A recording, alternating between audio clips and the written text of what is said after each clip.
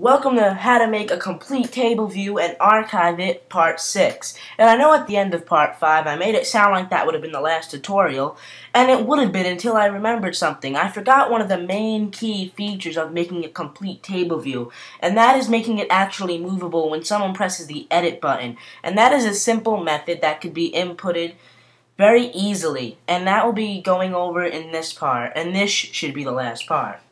So we want to make it move when someone press edit. And that's basically saying that there's three lines, the person can drag it around and press done, it stays there, and it remembers. And we're going to do that now. So just make a new bool statement, and they're just going to name that table view.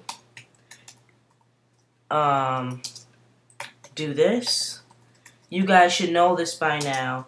Can move row at index path. We're going to make an NS index path, and that is going to just be named index path. And so basically, what we're saying is, can it be moved? Yes, it can. Alright, so then after here, we want to make a void message, and this is actually going to be making it work when someone presses edit. So table view, colon, UI table view, and table view.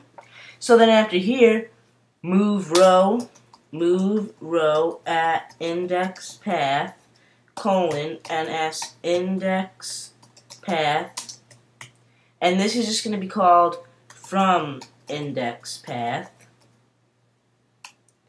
Then right here, we want to say to index path, colon, ns index path, and then, sorry about that, forgot the A, ns index path to index path. And in here, we're going to just put some code. Let's just, um, Okay, that was all spelled correctly. Always good to double check before building with an error. Am I right? Alright, so then in here we want to make an NS string. NS string, which is what I always get wrong at spelling, I'm sorry. And we're going to name this item. And it's going to be equal to our data object at index.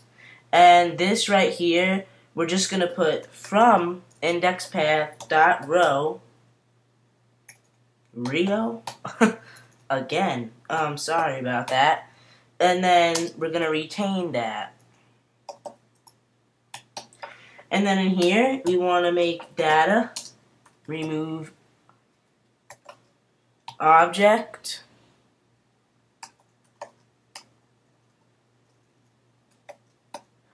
data, remove object, and that would be the item. And here, data, insert object, and that is also the item. And at index path, that will be to index path dot row. Close that semicolon. And then item, release. Close that semicolon. Now let's build and go and we got one warning. So um, I capitalized the I there. You probably didn't make that mistake, but I always make that mistake. So anyway, so now um, this is our table view. Say we delete a bunch of stuff. I could add a new one. And so now when we press edit, we're going to see these three um little lines. So say I want the so pay attention. I'm gonna take table cell, click these three lines, drag that all the way to the bottom, and press done. It stays there. So now let's quit the app and relaunch it, and it remembers the placement it has been in.